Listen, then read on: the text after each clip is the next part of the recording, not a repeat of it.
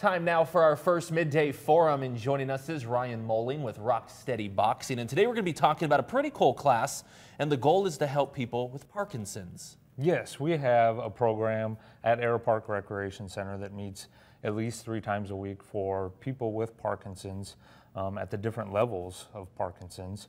Um, and we're hoping to fight back that progression of Parkinson's disease. And the classes, they're affordable, something for every price yeah, range. Right now, we're offering classes at a base rate of $80 per month. That's going to get them at least 12 classes. Um, we do offer scholarships for those that think that it isn't affordable or that can prove to us that they need something a little less expensive.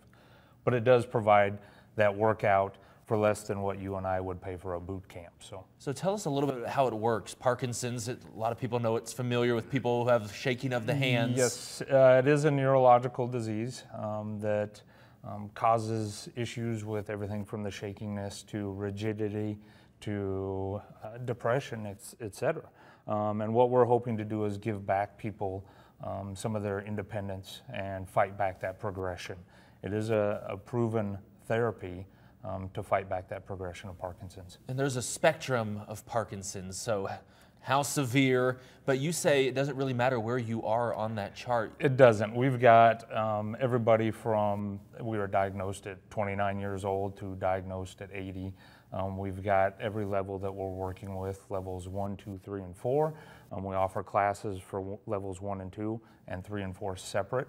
Um, Saturday we come together and offer an all-encompassing class. Um, it, it, works out really well, and we've seen benefits in all of our participants. Awesome. So if somebody is interested in these classes, how do we sign up? Yeah, what you'd want to do is call Air Park Recreation Center at 441-7876, or you're more than welcome to go online and search Rock Steady Boxing. Um, you'll probably be sent to their homepage and look for Lincoln, Nebraska. And there's only three centers in the state that do it, and we have one right Correct. here. Correct, absolutely. There you go. Thank you, Ryan, for Thank joining you. us. And we'll be right back with our second midday guest. You're watching Channel 8 Eyewitness News Midday.